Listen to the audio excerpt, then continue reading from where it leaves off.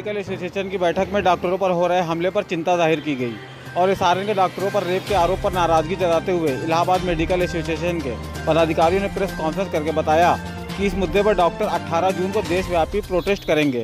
Press conference करने वाले डॉक्टरों का कहना है कि कोरोना काल में डॉक्टर ही फ्रंट लाइन पर आकर लोगों की मदद कर रहे हैं। ऐसे में उन पर हमला और बेवजह आरोप लगाना बेहद अफसोसजनक है। तो हम लोगों का विरोध इस बात को लेकर के है कि कुछ ऐसे कानून केंद्र स्तर से बने जिससे कि जो लोग इस तरह की घटनाओं को अंजाम देते हैं, इनको इनको विरुद्ध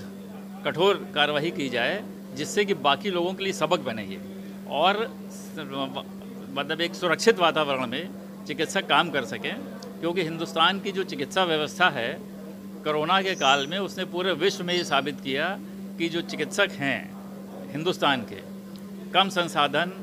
छोटा इंफ्रास्ट्रक्चर उसके बावजूद उनके रिजल्ट्स जो हैं, वो पूरे विश्व स्तर पर सराहे जा रहे हैं। तो ऐसी स्थिति में यदि अगर इस तरह की सुरक्षा नहीं प्रदान की जाएगी सरकार के द्वारा तो आगे चल कर के जो बच्चे हैं, वो जो अच्छे पढ़ने वाले बच्चे हैं, वो इसमें आना पसंद नहीं करेंगे। और सुरक्षित वातावरण में कोई काम करना नहीं पसंद करेगा।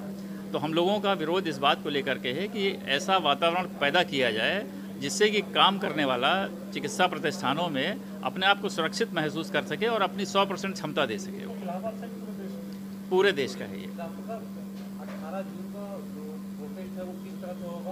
18 जून को देखिए, ऐसा है ना, ब्लैक मास्क यूज़ किया जाएगा, ब्लैक बैजेस इस्तेमाल किए जाएँगे, हर प्रतिष्ठान के बाहर एक बैनर होगा, जिस पर कि चिकित्सा प्रतिष्ठानों में हिंसा के विरोध में आज कई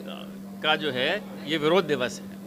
कार्य नहीं बंद किया जाएगा, सारे कार्य सुचारू रूप से चलते रहेंगे, क्योंकि कोरोना का समय है, इसलिए किसी भी तरह का ऐसा कार्य नहीं किया गया है जिससे कि मरीजों को असहजता